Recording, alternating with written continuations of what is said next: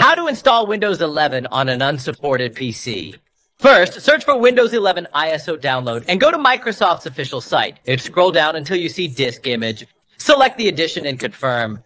Next, choose the correct system language. If you don't know which is the one, open command prompt as an administrator and enter this command. Here you can see your system language.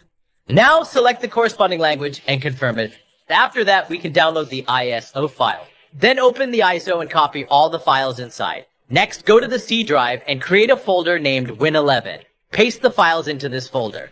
Now open command prompt as admin again. Then type in this command to skip the hardware check.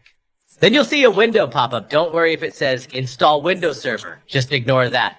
Click here, select not right now, hit next, and just keep moving forward. Here I'll choose keep all my data and next. And now just wait patiently for the installation. It will take some time. Once it's done and the system restarts, don't forget to head back to the C drive and delete that folder we made to clear up space.